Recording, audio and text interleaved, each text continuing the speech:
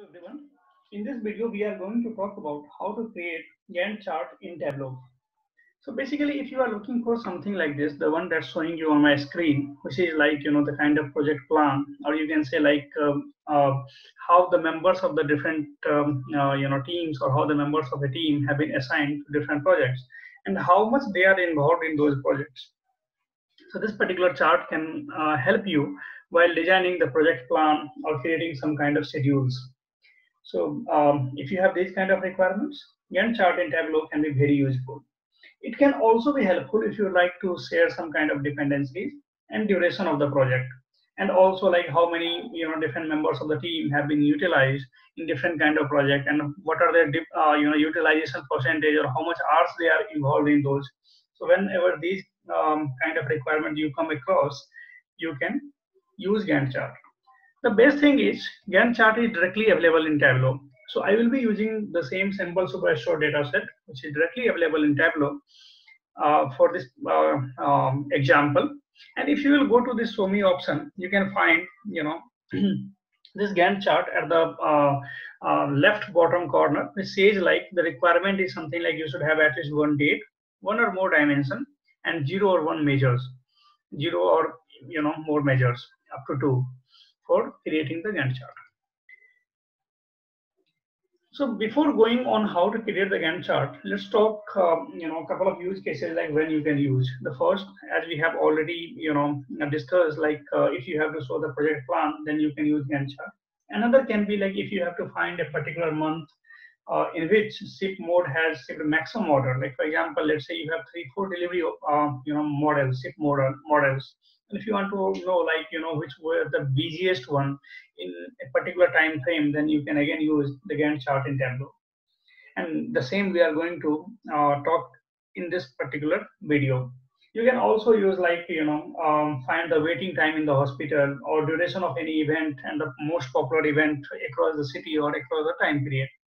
So no matter what kind of requirement you have, if those fall somewhere around the plan, Gantt chart can be one of the best solutions that you can use. So let's just start and create a Gantt chart which will show which was the busiest, you know, shipping mode in a particular time frame. So we can take some particular time frame like you know a month or couple of months, and they can then we can work on that. Let's start and see this in Tableau. The first thing that we will be doing is as the requirement for the Gantt chart is at least we should have one date. So we'll be using the order date.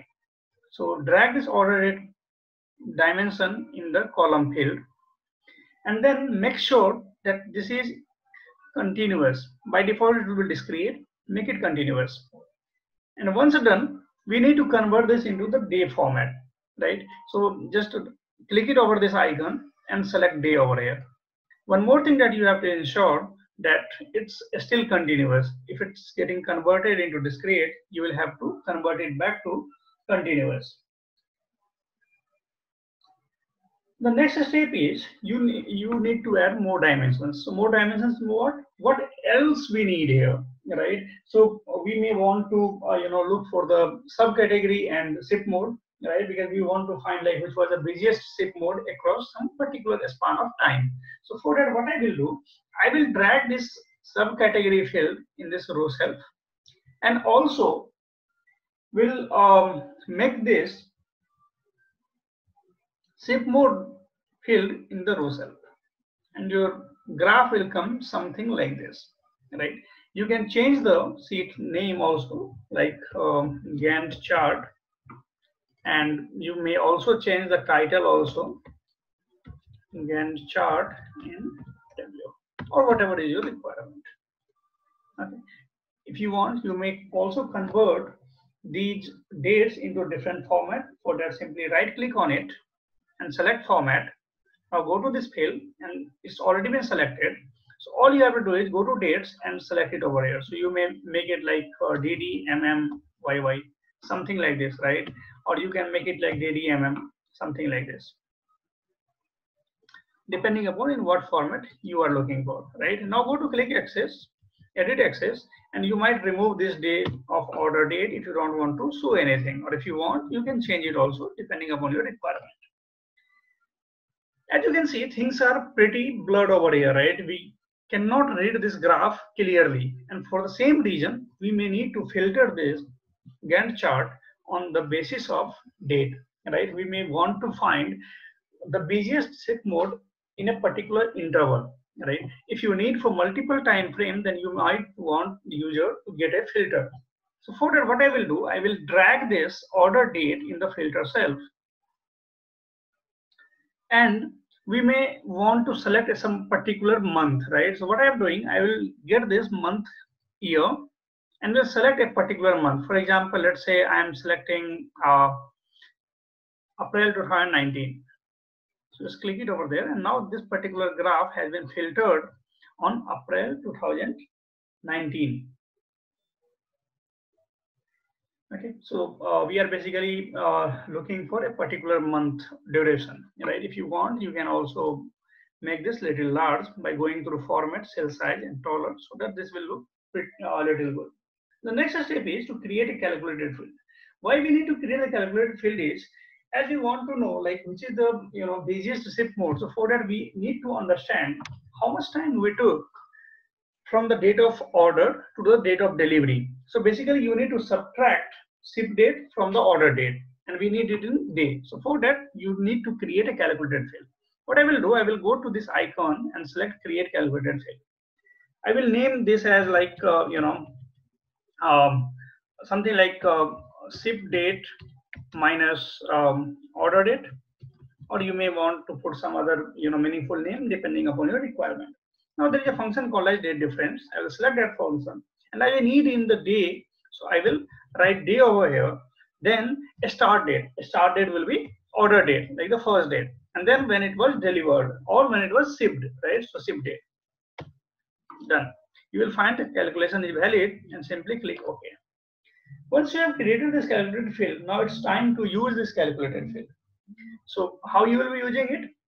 So uh, for the Gantt chart we need this in size because currently it's showing you a simple line over there. So we need to make, if you will look into this chart, it's something like on the, uh, you know, this particular graph varies on the basis of size. So you may want to drag this field in size, right? Now it's getting in the shape. One more thing is, as you can see, the default aggregation is sum, but we may not be interested for, right? Because we are looking for, um, you know, the uh, day differences on the basis of uh, subcategory and ship mode. So average can be a better option to visualize this. So just click it over here or right click on it, go to measure and select average. Cool. We have almost done what we needed, right? As you can see in April, this standard mode seems to be the busiest one for all kind of subcategories. Can you see this?